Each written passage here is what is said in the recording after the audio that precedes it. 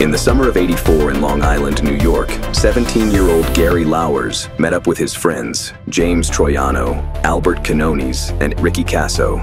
Gary was anxious to do some hallucinogens that night. The four boys ventured into the Aztakea woods, where they would build a fire and drop acid. Then, Ricky ordered Gary to donate his clothes to the fire, and when Gary refused, Ricky pulled out a knife and stabbed Gary in the back and demanded he profess his love for Satan. Gary couldn't elude Ricky, who eventually overpowered Gary and stabbed him multiple times in the face, while Quinones and Troiano watched. Ricky began chanting to Satan as he was carving out Gary's eyes.